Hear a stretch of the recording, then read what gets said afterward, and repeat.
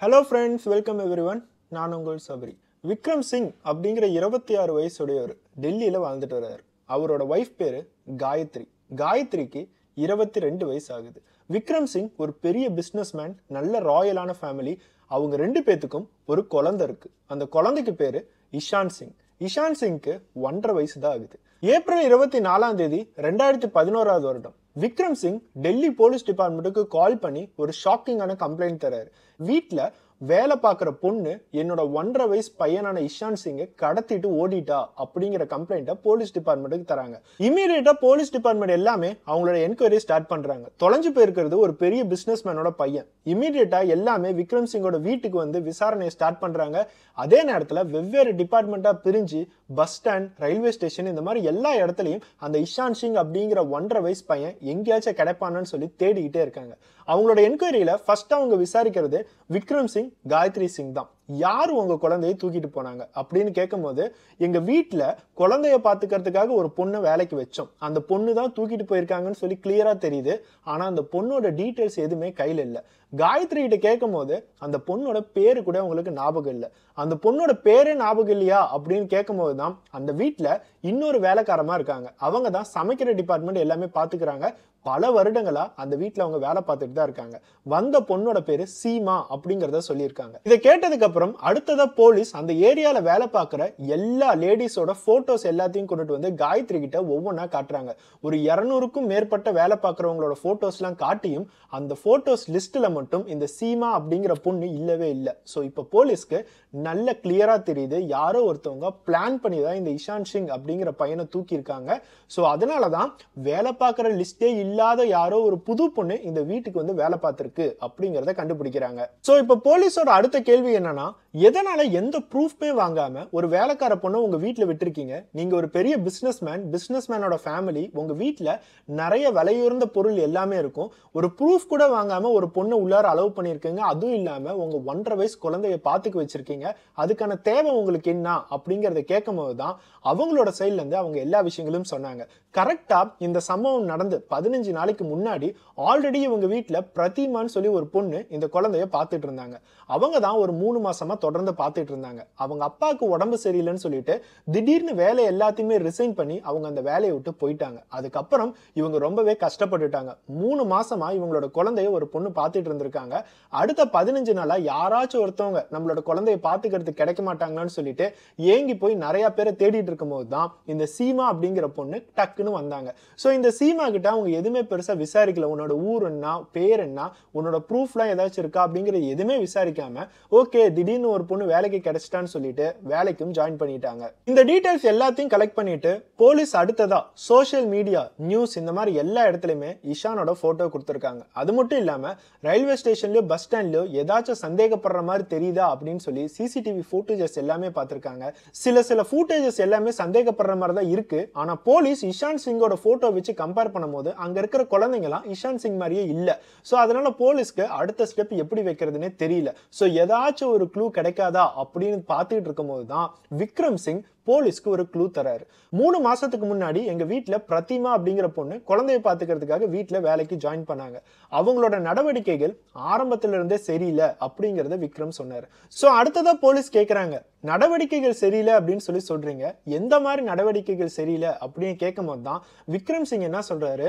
அந்த பொண்ணு செய்யற ஆக்டிவிட்டிஸ் எல்லாமே என்னைய டெம்ப் பண்ற மாதிரி சில சில விஷயங்கள்லாம் செஞ்சா நான் அவகிட்ட தப்பா நடந்துக்க மாட்டேனா? அப்படிங்கிற ஏக்கத்துல சில சிலதெல்லாம் செஞ்ச மாதிரி தான் எனக்கு தோணும் தோணுது அப்படிங்கிறத சொல்கிறார் ஸோ இது போலீஸ் கேட்டோன்னே எப்படி நீங்க இதெல்லாம் கரெக்டா சொல்றீங்க? சில சில எக்ஸாம்பிள்ஸ் ஏதாச்சும் இருக்கான்னு கேட்கும் போது தான் விக்ரம் சிங் ஒரு கரெக்டான எக்ஸாம்பிள் சொல்கிறார் எப்ப எல்லாம் நான் குழந்தைய பார்க்கறதுக்கு கீழே வரணும் அப்ப எல்லாம் அந்த பிரதிமாங்கிற பொண்ணு என்னை ஒரு மாதிரியா பார்த்துக்கிட்டே இருப்பா. அது மட்டும் இல்லாம எங்க வீட்லேயே எனக்குன்னு சொல்லிட்டு ஒரு ஜிம் இருக்கு. அந்த ஜிம்முக்கு பக்கத்துல ஒரு பாத்ரூம் இருக்கு. அந்த பாத்ரூமை நான் மட்டும்தான் எப்போ யூஸ் பண்ணுவேன். கரெக்டா ஜிம்முக்கு போயிட்டு அந்த பாத்ரூம்க்கு வருவேன்னு சொல்லிட்டு பிரதிமாவுக்கு நல்லாவே தெரியும். நான் கரெக்டா ஒரு நாள் அந்த பாத்ரூம்க்கு வரும்போது பிரதிமா அந்த பாத்ரூம்க்கு போய் ட்ரெஸ் சேஞ்ச் பண்ணிட்டு இருந்தாங்க. நான் கரெக்டாக ஓப்பன் பண்ணுவேன் அப்போ அவங்க ட்ரெஸ் சேஞ்ச் பண்ணிட்டு இருக்கணும் அப்படின்னு பிளான் பண்ணி செஞ்ச மாதிரி தான் இருந்துச்சு.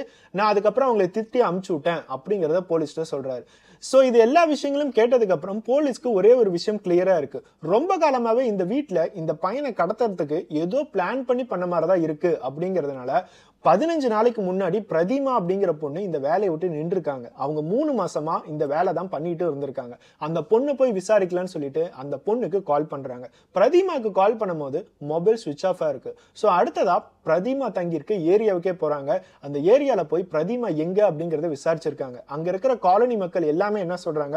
பிரதிமாவோட வீடு இங்கதான் இருக்கு. இந்த பிரதிமா அவங்களோட லவ்வரான அசோக் கூட தான் ரெண்டு பேருமே தங்கியிருக்காங்க அப்படிங்கறதும் சொல்றாங்க. உடனே அடுத்த மூணு நாள்ல அசோக்கை கஸ்டடியில் எடுக்கிறாங்க. கஸ்டடியில் எடுத்து எங்கே பிரதிமா போயிட்டாங்க? அவங்களோட ஃபோன் சுவிச் ஆஃப்ல இருக்குது அது மட்டும் இல்லாமல் இப்போ ஒரு பையனை கடத்தியிருக்காங்க. கரெக்டாக இந்த பையனை கடத்துறதுக்கு முன்னாடி பதினஞ்சு நாளைக்கு முன்னாடி எதுக்காக உங்களோட லவ்வர் வேலையை விட்டு நின்னாங்க?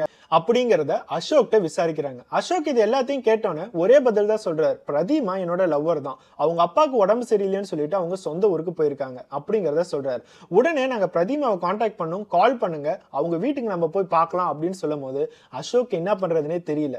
ஆரம்பத்துல இருந்தே போலீஸ்க்கு ஒரு சந்தேகம். அசோக் நம்ம கிட்ட ஏதோ மறைக்கிறாருன்னு. தீர விசாரிக்க ஆரம்பிச்சதுக்கு அப்புறம் அசோக் டோட்டலா எல்லா உண்மைகளுமே போலீஸ்ட்டு சொல்ல ஆரம்பிக்கிறாரு. டெல்லியில இந்தியா ஹாபிட்டட் சென்டர் அப்படிங்கிற பில்டிங்ல ஹவுஸ் கீப்பிங் டிபார்ட்மெண்ட்ல தான் இருபத்தோரு வயசான பிரதிமாங்கிற பொண்ணு வேலை பார்த்துட்டு வராங்க. அதே ஹவுஸ் கீப்பிங் டிபார்ட்மெண்ட்ல தான் இருபத்தி மூணு வயசான அசோக்கும் வேலை பார்க்கறாரு. பிரதிமா பார்க்கறதுக்கு ரொம்ப அழகா இருக்கிறதுனால அசோக் ஆரம்பத்துல இருந்தே பிரதிமாவை பார்த்து லவ் பண்ண ஆரம்பிச்சார். பிரதிமா கிட்ட தன்னோட லவ் எல்லாத்தையுமே சொல்ல ஆரம்பிச்சாரு. அப்ப பிரதீமாவும் அசோக் ரொம்ப பிடிச்சிருந்ததுனால அக்செப்டும் பண்ணிக்கிட்டாங்க. இவங்க ரெண்டு பேருமே வேலை பார்க்கும் போது எல்லா இடத்துலயுமே உல்லாசமா இருந்திருக்காங்க. நாட்கள் போக போக அசோக் பிரதீமாவை தன்னோட வீட்லயே வந்து தங்கி ரெண்டு பேருமே லிவிங் டுகெதரா வாழ ஆரம்பிச்சிருக்காங்க. இவங்க ரெண்டு பேருமே எல்லாத்துக்குமே தெரியற மாதிரி லிவிங் டுகெதரா வாழ ஆரம்பிச்சதுக்கு அப்புறம் இவங்க ரெண்டு பேரும் ஒரே கம்பெனில இருந்தா எல்லாமே தப்பா பார்ப்பாங்க அப்படிங்கறதுனால பிரதீமா அந்த வேலையை விட்டு ரிசைன் பண்ணாங்க. பிரதீமா வேலையை விட்டு ரிசைன் பண்ணதுக்கு அப்புறம் அசோக் விக்ரம் சிங் அப்படிங்கிற ஒரு பெரிய பிசினஸ் மேன் வீட்டுல பிரதிமாவை வேலைக்கும் சேர்த்து விட்டாரு. விக்ரம் சிங் வீட்டுல ஒரே ஒரு வேலை தான் பிரதிமாவுக்கு. என்ன அப்படின்னா மத்தியான நேரம் வீட்டுக்கு வரணும். இஷான் சிங் அப்படிங்கிற ஒன்றரை வயசு குழந்தை இருக்கு. அந்த குழந்தைய பார்த்துக்கணும். சாப்பாடு ஊட்டணும். அந்த குழந்தைகிட்ட விளாடணும் நைட்டு ஏழு மணி வரைக்கும் அந்த குழந்தை கூட டைம் ஸ்பெண்ட் பண்ணிட்டு நைட்டு டின்னர் ஊட்டி விட்டுட்டு அந்த வீட்டை விட்டு கிளம்பிடணும். இதுதான் பிரதிமாவோட வேலை. அது மட்டும் இல்லாம விக்ரமும் காயத்ரியும் பிரதிமாவுக்கு நீட்டா எல்லா ரூலுமே போட்டாங்க. யார் யாரெல்லாம் இந்த வீட்டுக்கு வேலைக்கு வராங்களோ எல்லாம் கிரவுண்ட் ஃப்ளோர் மட்டும் தான் இருக்கணும் ஃபர்ஸ்ட் ஃப்ளோருக்கு வரவே கூடாது. அந்த வீட்டில் சமைக்கிறதுக்காக ஒரு ஓல்டு லேடி இருக்காங்க. அவங்க பல வருடங்களாக அந்த வீட்டில் சமைச்சிட்டு இருக்காங்க. அவங்க ஒருத்தவங்க தான் ஃபர்ஸ்ட் ஃப்ளோருக்கு போய் எல்லா கிளீனிங் வேலையும் பார்ப்பாங்க. மற்றவங்க யாருமே ஃபர்ஸ்ட் ஃப்ளோருக்கு அலௌட் இல்லை. கெஸ்ட் யாராச்சும் வந்தாலும் என்ன விஷயமா இருந்தாலும் விக்ரமும் காயத்ரியும் கிரவுண்ட் ஃப்ளோருக்கே தான் வந்து பேசுறாங்க. இதுதான் பிரதிமாவுக்கு அவங்க போட்ட ஒரே ரூல் இது எல்லாத்தையுமே ஒத்துக்கிட்டு தான் பிரதிமா வீட்டுக்கு வந்தாங்க. விக்ரம் சிங் வீட்டுக்கு வந்ததுக்கு அப்புறம் பிரதிமாவுக்கு ஒரு பெரிய உலகமே தெரிஞ்சிச்சு. மக்கள் இப்படியும் வாழுவாங்களா? இது வரைக்கும் நம்ம இது மாதிரி எதுவுமே பார்த்ததே இல்லையே அப்படின்னு சொல்லிட்டு ரொம்ப ஆசைப்பட ஆரம்பிச்சாங்க பிரதிமா. விக்ரம் சிங் வீட்டில் இருக்கிறது எல்லாமே ரொம்ப விலையுறந்த பொருளா இருக்கு. அது மட்டும் இல்லாம எல்லா பணம் நகை எல்லாமே ஃபர்ஸ்ட் ஃப்ளோர்ல தான் வச்சிருக்காங்க. ஸோ எப்படியாச்சும் பணம் நகை ஒரு இருபத்தஞ்சுல இருந்து முப்பது லட்சம் வரைக்கும் எடுத்துக்கிட்டு நம்ம ஓடிட்டோம் அப்படின்னா யாராலையுமே நம்மளை கண்டுபிடிக்க முடியாது. அப்படிங்கிறத பிரதிமா நீட்டாக பிளான் போடுறாங்க. இது எல்லாத்தையும் அசோக்கிட்டையும் சொல்கிறாங்க அசோக்கும் இது எல்லாத்துக்குமே ஒத்துக்கிறாரு. அசோக் சொன்னது எல்லாமே நீ திருடிட்டு வரும்போது மாட்டிக்கிட்டீங்கன்னா போலீஸ் பிடிச்சிருவாங்க. அதை மட்டும் நல்லா ஞாபகம் வச்சுக்கோ அப்படிங்கிறத அசோக் சொல்கிறாரு ஆனால் பிரதிமா பக்காவாக பிளான் பண்ணுறாங்க சிசிடிவி கேமரா எதுவுமே இல்லை. அதனால் நம்ம திருடிட்டு வந்தாலும் நம்ம தான் திருடிட்டு வந்தோங்கிற ஆதாரம் எதுவும் இல்லைன்னு சொல்லிட்டு எல்லாமே பிளான் பண்ணிகிட்டே இருக்காங்க. பிரதிமா அந்த வீட்டில் வேலை பார்க்க ஆரம்பிச்சதுலேருந்து ஏதாச்சும் ஒரு சான்ஸ் கிடைக்காதான்னு சொல்லி ஏங்கிக்கிட்டே இருந்தாங்க. ஃபர்ஸ்ட் ஃப்ளோருக்கு எப்படியாச்சும் போகணுமேன்னு சொல்லிட்டு பையன் அழுவும் போதெல்லாம் வேடிக்கை காட்டுறேன்னு சொல்லிட்டு ஃபர்ஸ்ட் ஃப்ளோருக்கு போக ஆரம்பிச்சாங்க. அவங்க கரெக்டா ஃபர்ஸ்ட் ஃப்ளோருக்கு போகும்போது காயத்ரி அவங்களை திட்டின்னு உடனே நான் கீழே தானே இருக்க சொன்னேன் அப்படின்னு சொல்லிட்டு கீழேயே இருக்க வைக்கிறாங்க. இந்த மாதிரி ஒரு மூணு மாசம் போச்சு பிரதிமாவுக்கு எந்த சான்ஸுமே கிடைக்கவே இல்லை. அடுத்ததா தான் அவங்க வேற ஒரு பிளான் போட்டாங்க. நம்ம விக்ரம் சிங் கிட்ட ஒரு தப்பான தொடர்பு வச்சுக்கிட்டோம் அப்படின்னா எப்படியாச்சும் அவரு கூட ஃபர்ஸ்ட் ஃப்ளோர் போறதுக்கு ஒரு ஐடியா கிடைக்கும் அப்படிங்கறத பிளான் போட்டாங்க. விக்ரம் சிங் கிட்ட தப்பான தொடர்பு வைக்கணும் அப்படின்னா ஃபர்ஸ்ட் அவரை நம்மளோட வலையில சிக்க வைக்கணும்னு சொல்லிட்டு பிரதிமா பிளான் போட்டாங்க. பிரதிமாவுக்கு இருபத்தி ஒரு வயசு விக்ரம் சிங்குக்கு இருபத்தி ஆறு வயசு. பிரதிமா பார்க்கறதுக்கு அழகா இருக்கிறதுனால விக்ரம் சிங் ஈஸியா வலையில விழுந்துருவாங்கன்னு சொல்லி பிரதிமா நினைச்சிருக்காங்க. எப்பயெல்லாம் விக்ரம் சிங் குழந்தைய பார்க்க வராங்களோ அப்பையெல்லாம் பிரதிமா அவங்களோட ட்ரெஸ் எல்லாத்தையும் அறகுறையா தான் பண்ணிக்கிட்டு இருந்திருக்காங்க. விக்ரம் சிங் நம்மளை பார்த்து அட்ராக்ட் ஆக மாட்டாரா அப்படின்னு சொல்லிட்டு ஏங்கிக்கிட்டே இருந்திருக்காங்க. ஆனா விக்ரம் சிங் பிரதிமாவை கவனிக்க கூட இல்லை. அடுத்ததா விக்ரம் சிங்கை எப்படியாச்சும் நம்ம அட்ராக்ட் பண்ணணுமேனு சொல்லிட்டு அவர் ஜிம்முக்கு பக்கத்துல இருக்க பாத்ரூம் எப்பயுமே ஜிம்ல எக்ஸசைஸ் பண்ணிட்டு அந்த பாத்ரூம்ல குளிக்கிறதுக்கு வருவார். அவர் மட்டும்தான் அந்த பாத்ரூமை யூஸ் பண்ணுவாரு.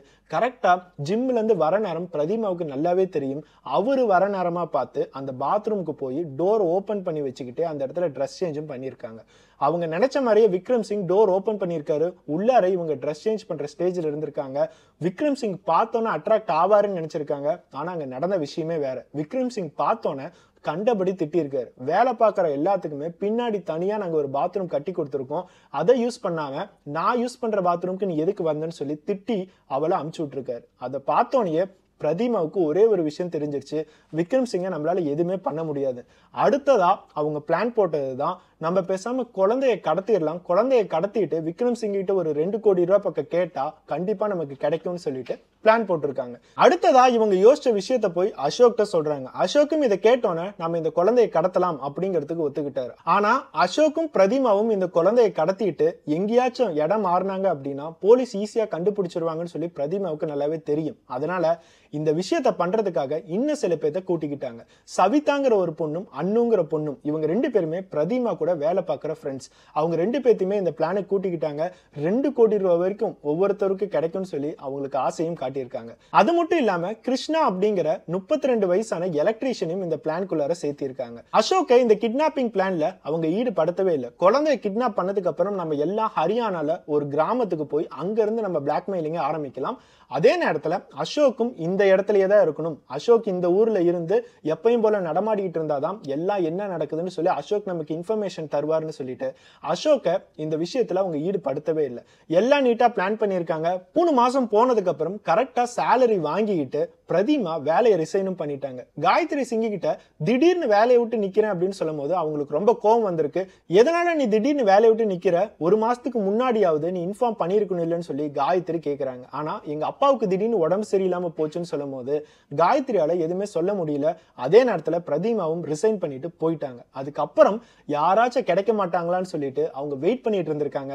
அப்பதான் பிரதீமாவோட இன்னொரு ஃப்ரெண்டான சாவித்ரி அந்த இடத்துக்கு போயிருக்காங்க. சாவித்ரி அடுத்ததா அந்த ஏரியாவுக்கு போய் அந்த ஏரியா மக்கள் எல்லாத்துக்கிட்டையும் நான் வேலைக்கு வரேன் யாராச்சும் வேலைக்கு தாங்க அப்படின்னு சொல்லி எல்லாத்திட்டுமே இன்ஃபர்மேஷன் தந்திருக்காங்க. இந்த இன்ஃபர்மேஷன் கரெக்டாக விக்ரம் சிங் வீட்டுக்கும் போகணும்னு சொல்லிட்டு விக்ரம் சிங் வீட்டுக்கு பக்கத்தில் இருக்க எல்லாத்திட்டுமே இந்த இன்ஃபர்மேஷன் தந்திருக்காங்க.